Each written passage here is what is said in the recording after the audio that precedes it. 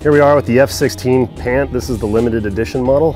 Um, some of the cool key features on this pant, we have a ratchet buckle, custom molded, tooled for fly racing, and uh, just keeps the waist secure. It has a, um, a cam lock buckle system. The harder you pull on this buckle, the more it locks down on the ratchet and just becomes stronger and stronger the harder you pull on it, more securely locked in.